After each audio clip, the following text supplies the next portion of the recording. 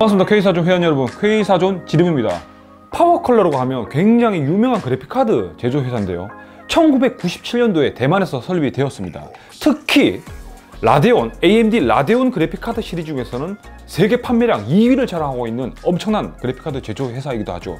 이것이 국내에서는 그동안 여러 유통사가 이렇게 거쳐가면서 굉장히 좀 불안했었는데 D&D컴 어, 국내 굴지의 유통회사인 D&D컴을 만나면서 어느 정도 자리를 잡아가는 그런 모습입니다. 오늘 우리 회원 여러분들께 소개시켜 드릴 제품은 바로 파워 컬러의 라데온 RX 베가 56 레드 데빌 제품이 되겠습니다. 한국말로 하면 붉은 악마 에디션이죠. AMD 라데온 그래픽카드에서 어, 넘버 2에 해당하는 그런 뛰어난 회사다 보니까 아무래도 어, 외형과 이런 솔루션들이 굉장히 뛰어나요. 어, 기본적으로 레드 데빌 시리즈 같은 경우에는 어느 정도 풍채 있는 이런 외형과 어, 그 뛰어난 이런 외관 퀄리티를 자랑합니다. 지금 어, 겉으로 봤을 때도 여기 플라스틱과 그리고 알루미늄이 혼합된 이런 외형을 통해서 조금 더 고급스러운 느낌을 제공하고 있고요. 그리고 검빨 조합 어느 정도 검증된 외형 솔루션이기도 하죠.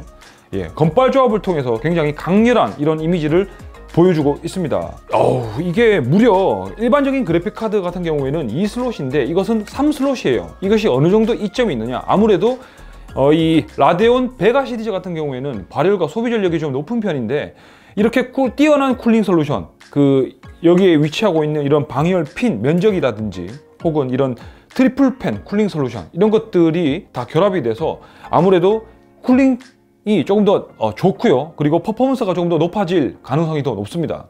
아시겠지만 엔비디아든 AMD든 boost clock을 적용을 하고 있어요. 이것이 어느 정도 발열을 기반해서 TDP를 기반해서 어느 정도 낮으면 이게 cooling이 뛰어나면 이게 어, boost clock이 높게 세팅이 되는 경향이 있고요. 그리고 발열이 조금 높거나 그리고 온도가 조금 높으면 아무래도 boost clock이 더 떨어질 수밖에 없어요.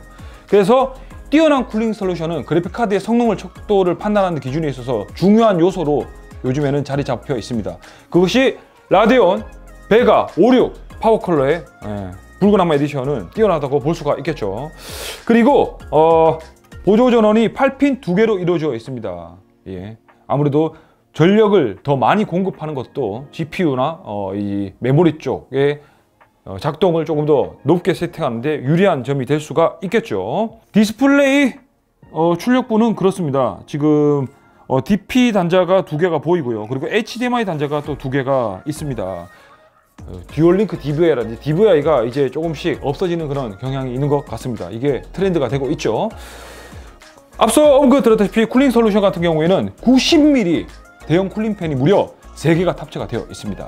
그리고 측면 쪽 같은 경우에는 이 제품의 정체성 AMD Radeon 그래픽카드 같은 경우에는 붉은색 계열의 이런 어, 정체성을 띠고 있는데 이 PowerColor 그래픽카드도 마찬가지입니다. 측면에 붉은색 LED가 점등이 되고 있고요. 전반적인 외형도 그렇고 예, 그렇습니다. 예, backplate high-end 그래픽카드의 상징이라고 할 수가 있는 backplate도 어느 정도 이렇게 알루미늄 재질로 어, 탑재가 되어 있다는 점 강조드리고 싶습니다. 그리고 그래픽카드 어, GPU의 load율에 따라서 어, 이 LED 상태를 통해서 어느 정도 load가 되고 있는지 어느 정도 어, 심하게 구동이 되고 있고 어, 좀 그런 경향을 파악할 수 있는 이런 LED indicator도 탑재가 되어 있습니다.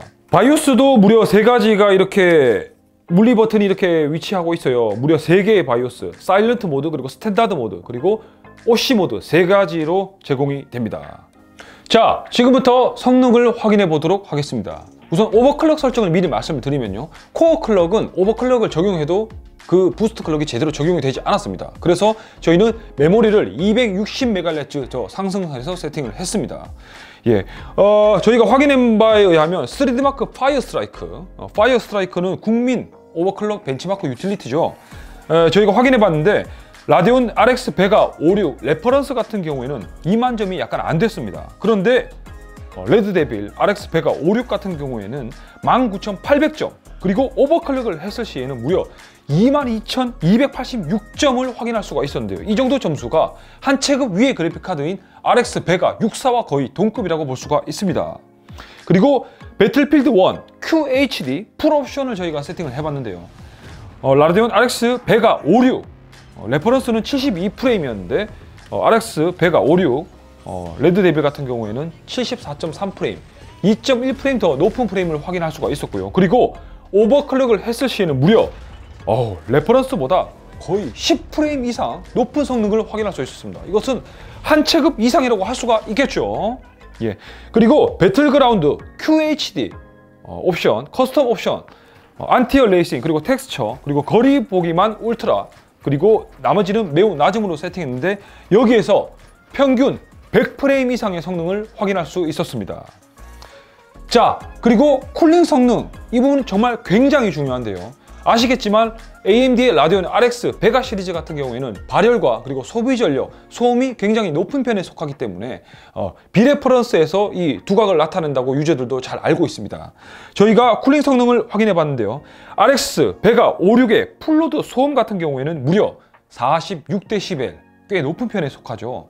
케이스에 넣는다 하더라도 조금 소음을 인지 가능한 수준입니다. 하지만 레, Radeon RX Vega 56 Red Devil edition 같은 경우에는 무려 37에서 38dB overclock을 해도 똑같은 수준입니다. 굉장히 정숙한 소음 레벨이라고 할 수가 있겠습니다.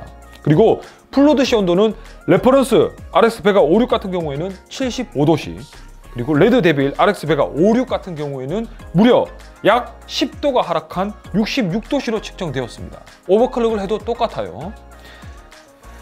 저희가 그리고 베가 시리즈 같은 경우에 유저들이 많은 제보를 주셨는데요. 어, 전압을 낮추기만 해도 소비 전력이 낮아지고 그리고 발열도 낮아지고요. 성능은 높아진다는 제보가 있었습니다. 저희가 K사전 벤치마크를 통해서 확인해 본 결과 그것이 사실이었습니다. 소비 전력과 발열은 떨어지고요. 그리고 성능은 훨씬 더 높아졌어요. 예, 이것이 어, 아키텍처와 이런 그 메모리 설계에 기반한 게 아닌가 싶습니다. 이 소비 전력 그리고 성능, 퍼포먼스가 이 정도 전압 레벨이면 충분한데 조금 과하게 세팅된 게 아닌가 싶습니다. 저희가 지금까지 AMD 라데온 RX 베가의 비레퍼런스라고 할 수가 있는 PowerColor Radeon RX Vega 56 HBM2 8GB 악마 edition에 대해서 살펴봤는데요. 외형 같은 경우에 굉장히 우주자마 같은 그런 어, 멋있는 외형과 그리고 풍채를 느낄 수가 있었고요.